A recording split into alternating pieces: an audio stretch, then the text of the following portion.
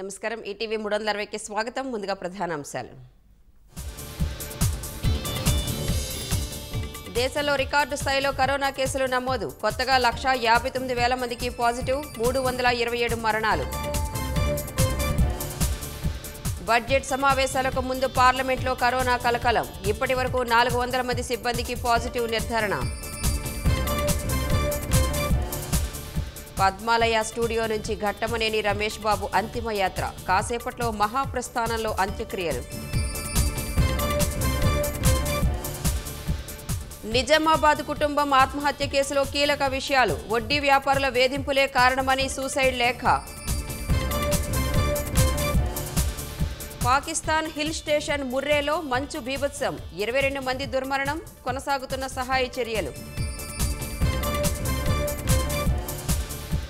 Brazil furnace సరస్సులో పడవలపై పడిన రాతి పలక ఆరుగురు పర్యాటకులు మృతి మరో ఇరవై మంది గల్లంతు.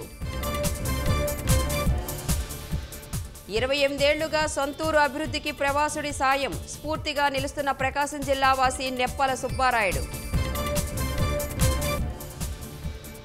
తల్లి కోసం అందమైన ఇల్లు నిర్మించిన కుమారుడు నవ్య హంగులు పచ్చదనం మేళవింపుతో కనుల విందు.